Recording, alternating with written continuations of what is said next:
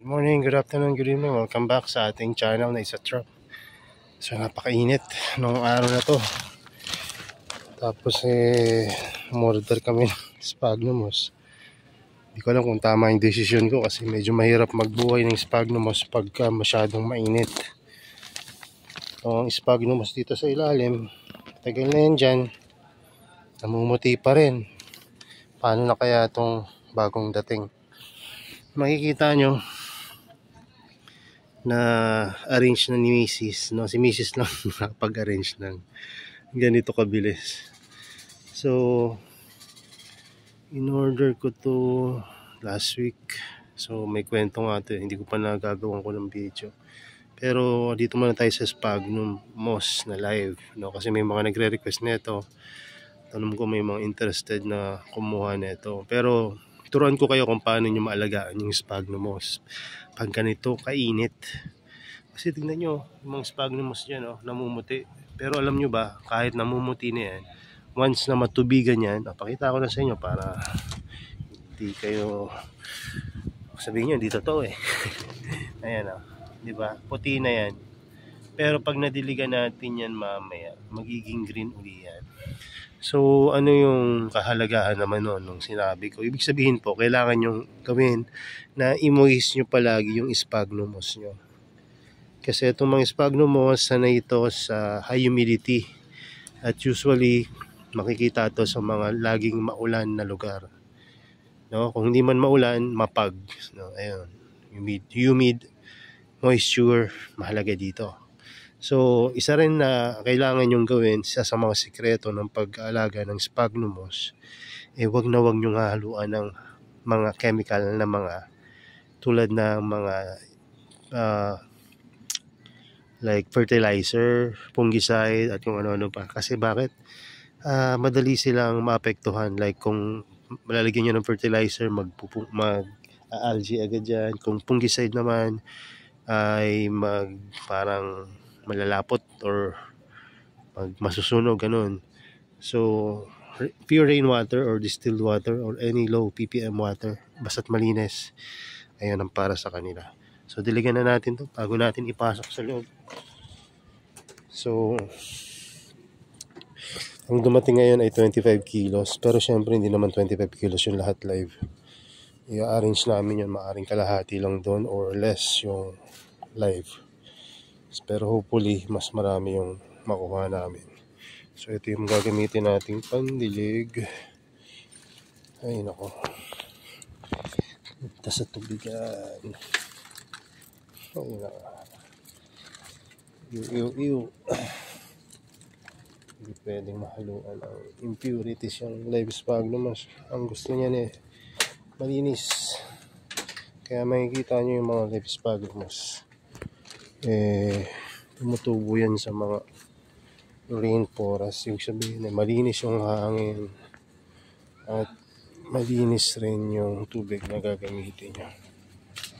So kaya ako hinihila itong hose na pandilig natin para, para hindi naman tumutok. Kasi pagka naipon yung pressure at hindi kinaya ng uh, hose natin sasabog to kasi uh, malakas yung pressure na itong ating pump. No, tubig. Ayun lakas.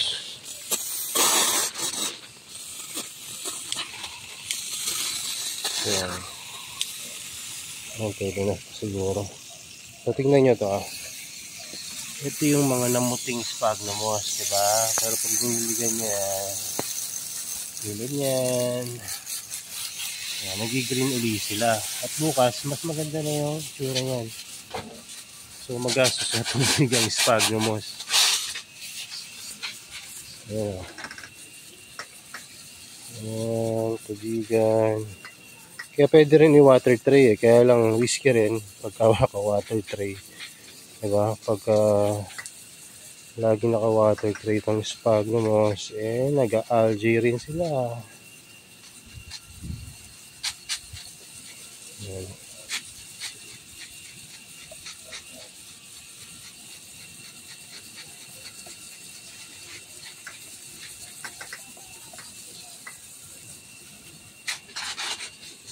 Ewan ko kung nakapagdilig si Mrs. ngayon. Kasi busy yun kanina.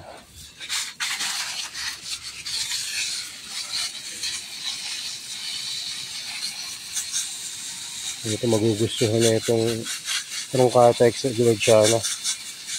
Itong sphagnum.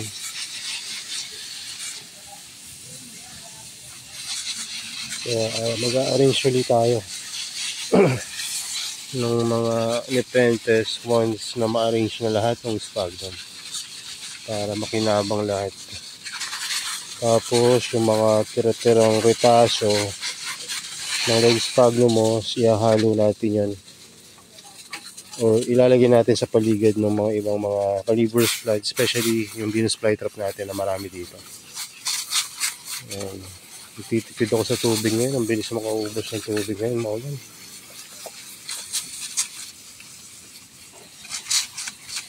Bilis-bilisan lang kasi titipid ng tubig.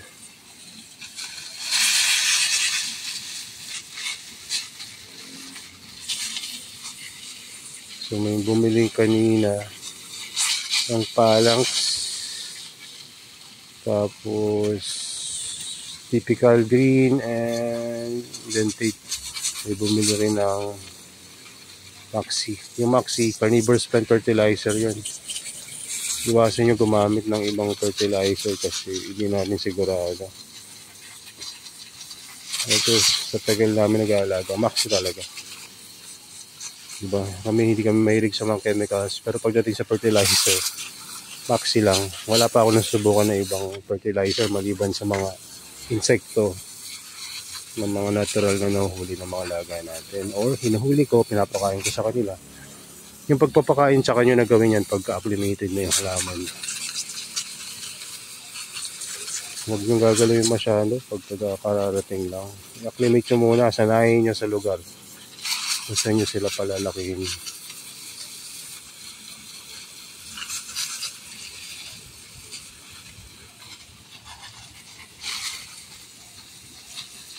Parang may na-upload na halaman dito ah. Ayun nga oh, sabi na eh. Diba? Maganda rin ito nakikita natin yung mga na-upload na plants.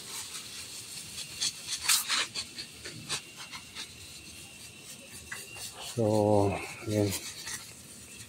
Tigdiligan na natin ng konti. I, babalik ko yung na-upload na nakita ko dun. Nating kalimutan pala yung seedlings. Nagtanim pala ako nung nakaraan ng at Atenbaro na Nepenthes. Meron na tayong available na sa Shopee. Sa mga uh, pangarap kong Venus flytrap. Ah, Venus flytrap. Nepenthes. Ayan, patay na natin. Sobrahan na tayo sa patubig.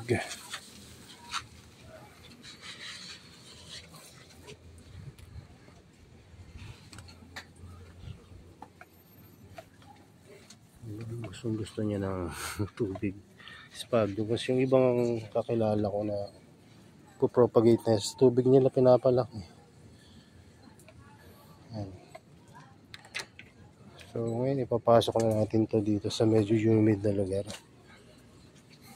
pero bago yun tanim muna natin yung nabunot baka makalimutan natin yun o nung pagka mist ko dito bilang may tumaas palagay ko kanina pa to eh kasi yan malambot na. Pagka malambot na yan, ibig sabihin, kanina pa yan nabunot. Maaring nakabunot dito eh. Uh, ibon or hangin pero alamang ibon. Yan, tinanim na natin. Maaring mamatay yan pero at least binigyan natin ng chance. Kaya hindi maganda yung na-uproot. Huwag na-uproot, panim nyo agad. Buti siguro late afternoon na natanggal yun kaya hindi ganun katuyo.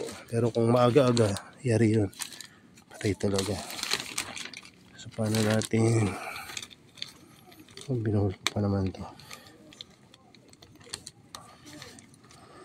So, lagay natin dito yung mga spagamos. Siguro makakailang tray pa to si Mrs. Bukas. Tulungan ko na lang rin. hindi ako matyaga sa pagtatanim ng sphagnum pero syempre nung una ako lang nagtatanim rin yan nung nakita niya kung paano gawin siya na nagtanim at uh, malaking tulong talaga sa akin kasi hindi ako ganun kabilis at katyaga siya matyaga siyang mag uh, propagate ng sphagnum ayun ito.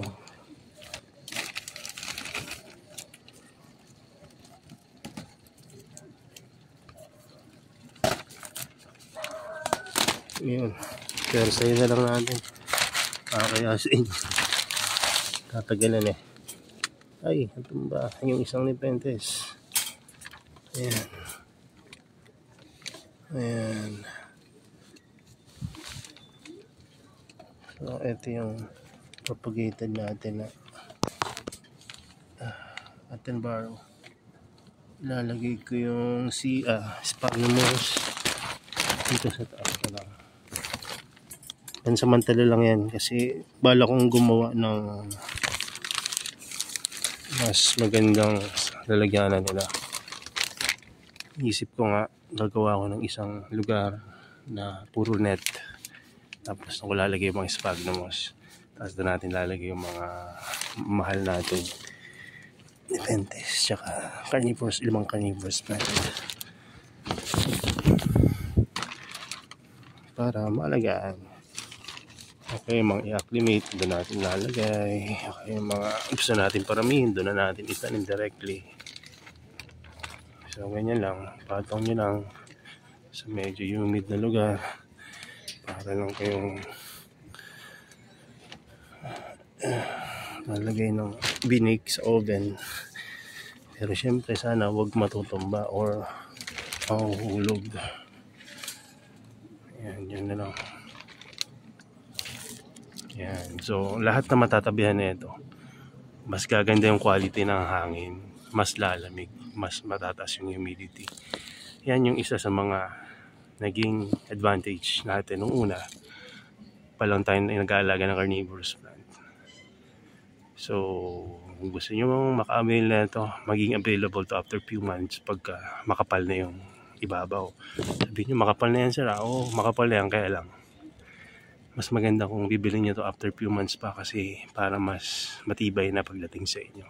Matibay meaning sanay sa init ng panahon dito sa amin. At uh, hopefully tulad dati magiging maganda rin sila. Makapal at matibay. Ayan. So ito yung mga update sa mga heliampora natin. Oh. Ayan. Iniisip ko pagka marami ng ganito tatanim ko na sila directly doon sa mga tree ng sphagnumos ayan. So yun lang muna siguro. Marami na akong video na nagawa hindi ko pa na-upload. Ayan medyo busy kasi. Kanina bike ako umaga tanghali uwi bike pa rin. Tapos bumalik ulit ako. Kanina akong Las Piñas na nagbike ako doon ako may racket. Tapos bumalik ulit ako ng Imus naman daan ko rin dyan banda sa may Las Piñas tapos, yun, bike ko nung gabi. Yan, nakakapagod. Sa tingin ko bukas ako gagawa ng mga video. No, i-upload ko na. At uh, natutuwa rin ako. May mga halaman talaga minsan na nagtatampo. Huwag nyo lang susukuan tulad nito. Pagkal na nito, hindi pa rin gumaganda. Mamamatay na nga dapat. Ngayon, gumaganda uli. Alam niyo yung ginawa ko lang naripat ko, tapos pumangit uli siya. Hinayaan ko na. Hindi ko na ginalaw. Yan o. Nagkaroon na uli ng magagandang leaf. Ito yung Raha X Mira. Ito naman yung hybrid rin to ng ano na Edwardiana. Kaya lang, tingnan nyo, pangit na ng leaf. So, hindi ko na rin gagalawin para gumanda. Ang dami ko nang pinagagawa dyan. May mga halaman talaga na ganun, yung maarte or nagagalaw nyo yung root system. Ayun. Kaya nga, pag walang problema, wag nyo nang galawin. Tulad yung mga nagtatanong sa akin sa Shopee. Sir, pwede ka na bang iripat to? So, ang sagot ko dun, pwedeng pwede talaga. Actually, pwede mong i-propagate. Kaya lang, kung hindi, wala namang problema, wag nyo nang galawin. Kasi sayang. Ito. Ano to kung ano? Ay, siguro picture lang to. Ayun. oh. Kala ko flower stock na. Wala pa naman kapares. Ayan. Yun lang muna. So, tapusin muna natin tong video na to. Tignan nyo, ito pala yung mga propagation ko, di ba, na ginawa natin nakaraan. Ito yung mother plant. Di ba, perk up agad. Acclimated agad. At nag-produce agad siya ng mga new drops or leaf, carnivorous leaves. So, basta lagay nyo lang dun sa lugar na hindi nagagalaw. Tama rin yung ginawa nung isa na nag-send sa akin ng teacher kanina. Nilagay niya sa medyo maaraw na lugar tapos tinakpan niya ng plastic yung paligid. Pero hindi totally takip. Parang ganito rin. So, less hangin. So, I'm hoping na tulad dito, gaganda rin yung mga plants ninyo. No, hindi pa nga ito pinakamaganda. Kung nakikita nyo dati yung mga halaman namin, eh, mas maganda pa dito. So, kinulang siguro ako ng focus, pag-aalaga, pagmamahal sa kanila ngayon. Kaya, babawi tayo sa kanila.